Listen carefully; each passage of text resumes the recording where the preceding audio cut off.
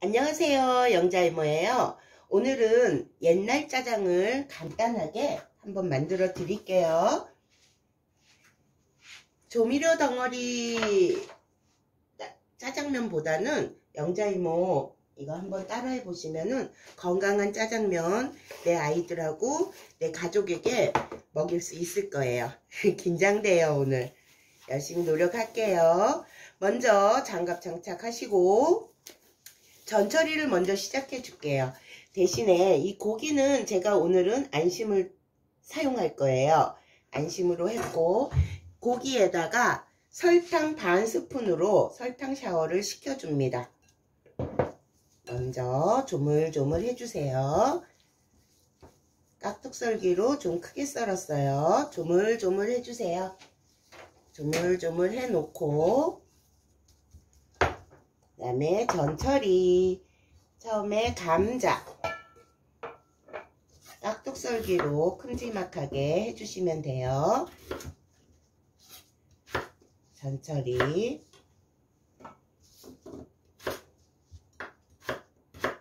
전처리 하시고 요리 작업하기가 편하겠죠. 감자는 깍둑 모양으로 취향껏 썰어 주시면 돼요 이렇게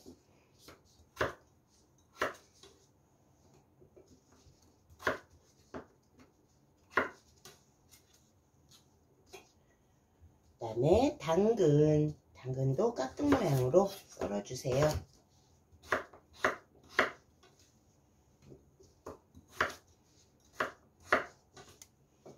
양파. 양파도 깍둑 모양으로 썰어주시고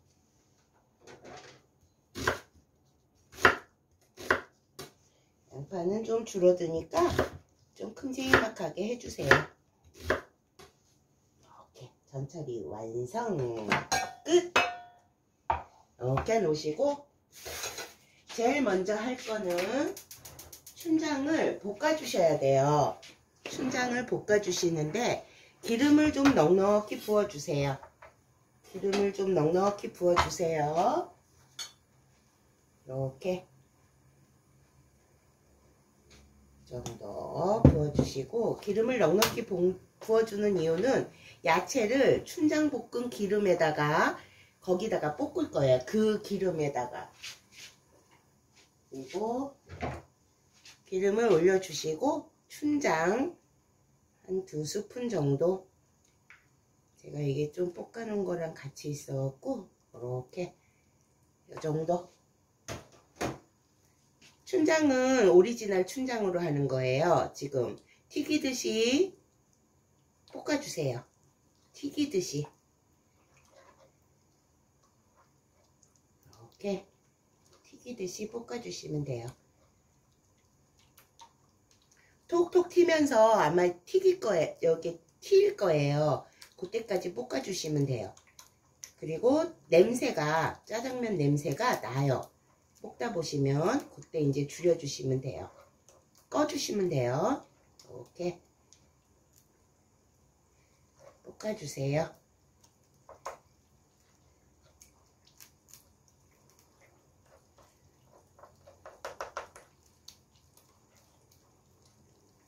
볶아주시고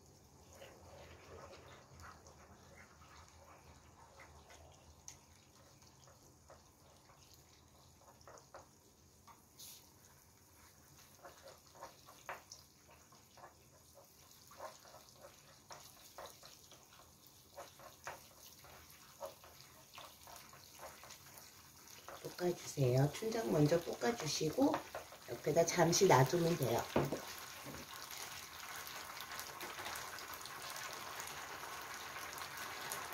이렇게 소리가 나면서 탁탁 튀길 거예요. 냄새도 날 거고 이렇게 해주세요.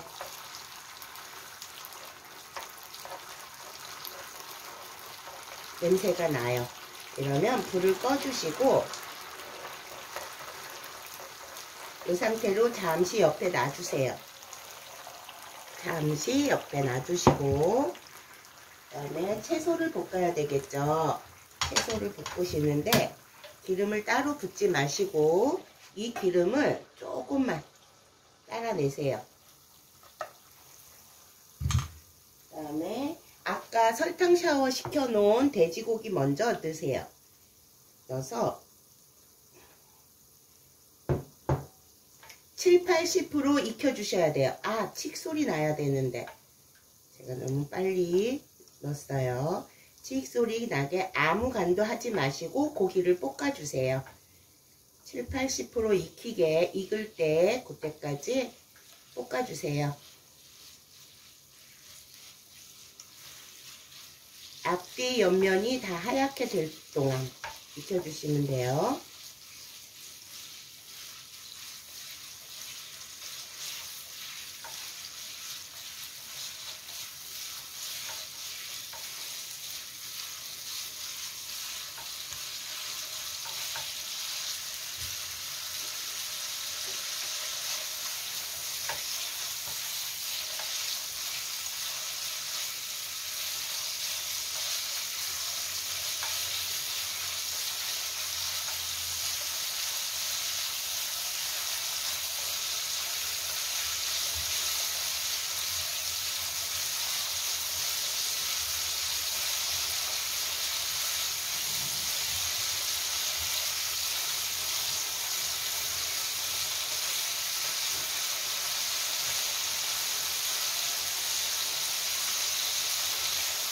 앞뒤 옆면이 다 익었을 때 채소를 몽땅 넣고 익혀주세요.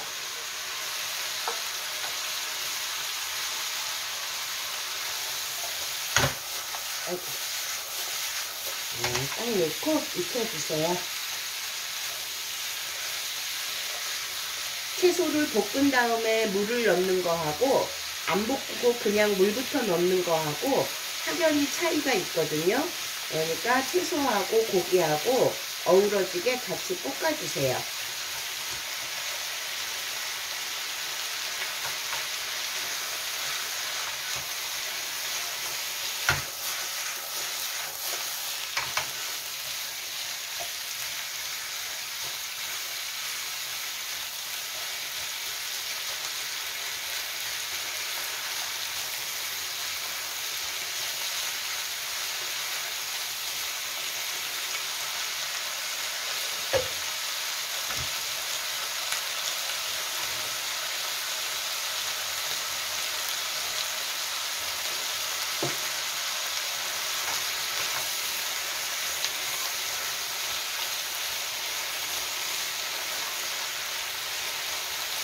채소에서 물이 생기기 때문에 잠기지 않을 만큼 자작하게 부어주세요.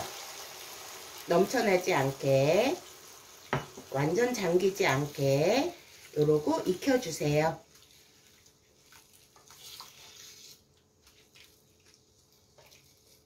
중국 요리는 거의 센 불에서 해야 돼요. 저 지금 세게 계속 틀어놨거든요. 그러니까 센 불에서 요러고 한번 끓어오를 때까지 보글보글 끓여주시면 돼요.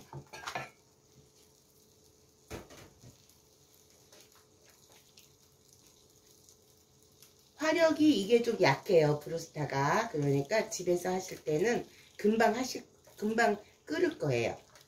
이렇게 익혀주세요.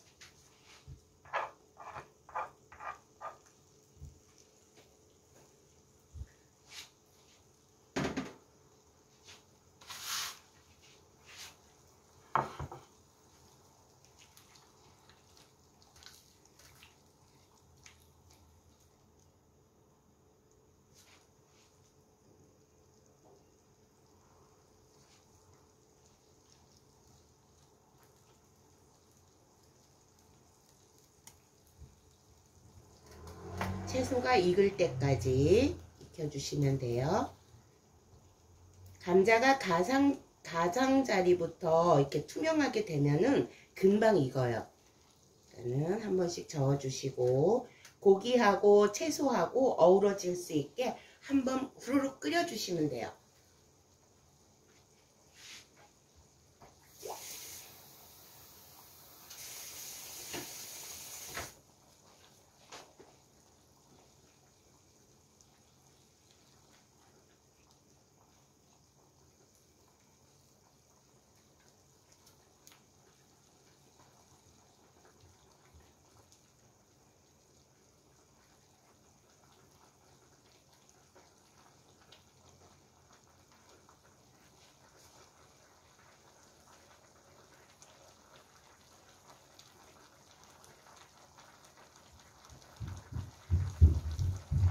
잘 끓고 있죠? 이렇게 익혀주세요. 감자만 익으면은 거의 다 익은 거예요. 감자 당근만 익히면 거의 다 익은 거기 때문에 이렇게 채소하고 육수에서 고기에서 육수가 다 나와 있어요. 육즙하고 이렇게 해서 어우러졌을 때 어우러졌을 때 아까 볶아 놓은 짜장 이거를 다 집어 드세요. 얼른 저어주세요. 계속 센 불에다 놓으시면 돼요.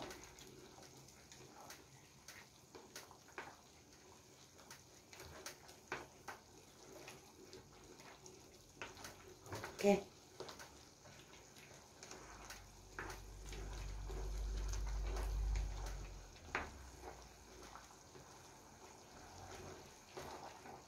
색이 점점 나오죠?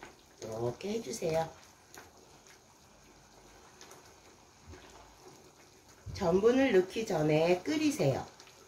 조금 끓이셔야 돼요. 춘장이 짭조름하기 때문에 여기에는 딱 한 가지만 들어가면 돼요. 다른 조미료 아무것도 필요 없어요. 중국집에서 가져온 짜장면, 시켜 드시는 짜장면은 달고 조미료가 좀 많이 들어가 있어요.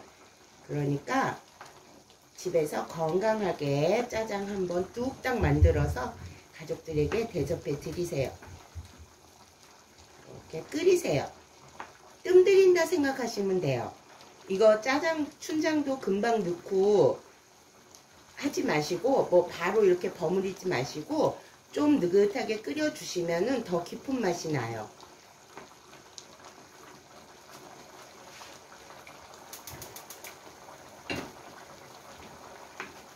끓이세요. 국물이 좀 자작하죠? 조금만 끓여주세요.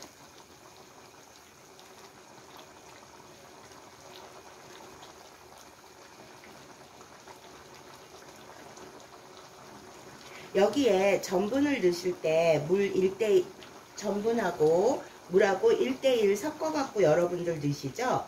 그러지 않으셔도 돼요. 요즘 전분가루가 굉장히 잘 나와 있어요. 전분 이렇게 해서 색깔이 어느 정도 났고 다 익었다. 그럴 때 전분을 이렇게 섞어가면서 저어주세요. 뭉치지 않아요. 물에 타서 하셔도 되고 전분가루를 이렇게 해서 한 스푼씩 넣어가면서 이렇게 해주세요. 센 불에 놓으셔야 돼요.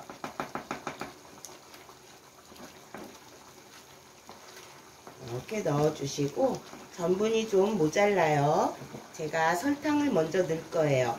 설탕은 한 스푼만 크게 한 스푼만 마지막에 넣고 또 저어주시고 전분의 농도를 맞춰주시면 끝이에요. 다른 거 아무것도 안 들어가요. 설탕 한 스푼만 마지막에 여러분들이 넣어주시면 시켜먹는 그 짜장 맛 버금가게 맛나요. 이렇게 해서 전분이 좀 모자르다 싶으면은 조금 더 넣어주셔도 돼요. 이렇게 됐어요.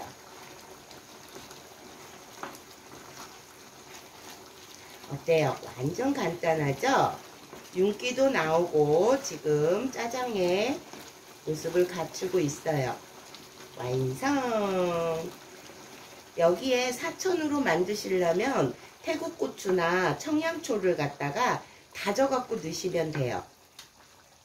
어때요? 완성! 저는 지금 국수도 삶아볼 거예요. 물을 끓이고 있거든요. 제가 말씀드렸죠. 소면 삶는 법 영상에 있는데 오늘은 칼국수 삶는 거를 알려드릴게요. 먼저 전분을 살살살 털어갖고 끓는 물에 풍덩 넣어주시고 바로 저어주세요. 바로 저어주세요. 그리고 끓을 때까지 기다리세요. 소면은 세 번만 후루룩 끓고 물을 넣으시라 그랬고 이런 생면 같은 경우에 칼국수면 두꺼운 면 종류는 다섯 번을 하셔야 돼요. 이렇게 한번 빨리 저어 놓으시고 끓이세요.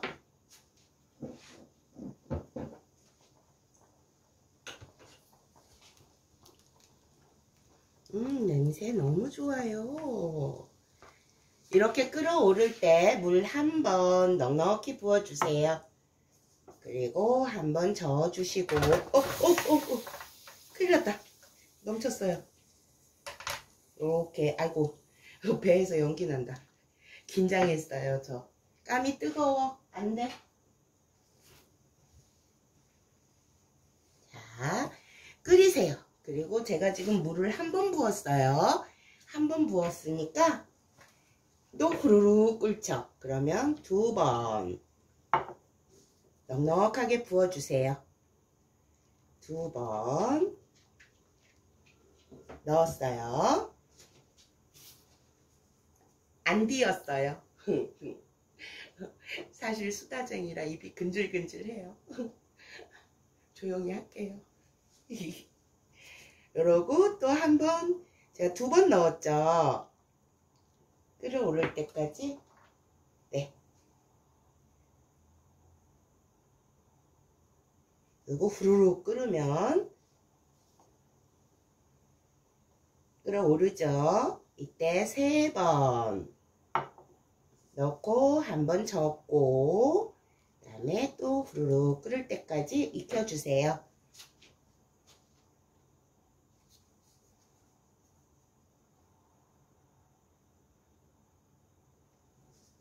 음, 끓을 때까지 세 번 넣었으니까 또 후루룩 끓죠. 이럴 때 또 한 번, 네 번 하고 한 번 저어주시고 또 끓이세요.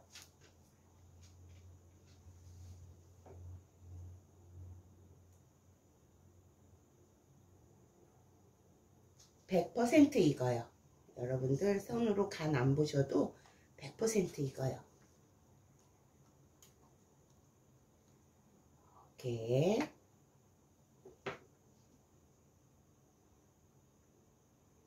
한번 또 끓어오르게 제가 네 번 부었나요? 마지막 다섯 번 그리고 끓어오를 때까지 기다리세요.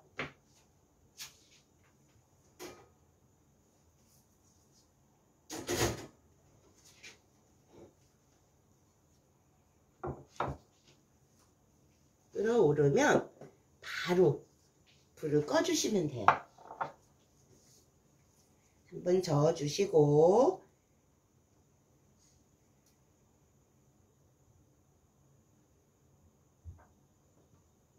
둥둥 뜨면서 끓어오르거든요.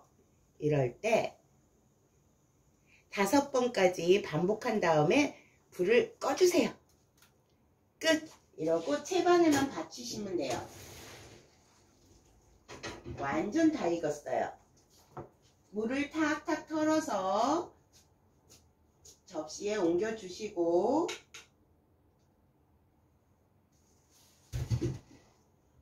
다 익었어요. 맛을 특별히 뭐 보거나 이러지 않아도 다 익었어요. 하시고 아까 볶아놓은 짜장 요거를 국자로 퍼서 옮겨주시면 돼요.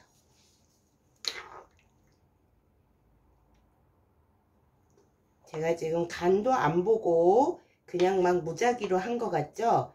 간을 보시면 맛을 보시면은 여러분들 아마 깜짝 놀라실 거예요. 윤기는 윤기대로 나시, 나고 초간단으로 한 거예요. 이렇게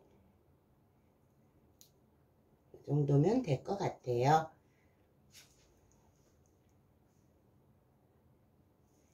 요 위에다 계란 후라이나 아니면 통깨 근데 여기에 제가 참기름은 권하지 않아요. 초간단으로 이렇게 오이도 있으면 오이 썰어 놓으시면 되고 여러분 오늘도 짜장 옛날 짜장면 완성 조언을 받아들이면서 열심히 노력할게요.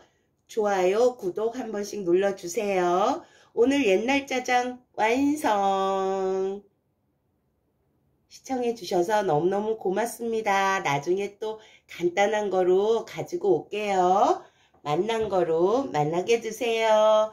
안녕. 나중에 또 만나요.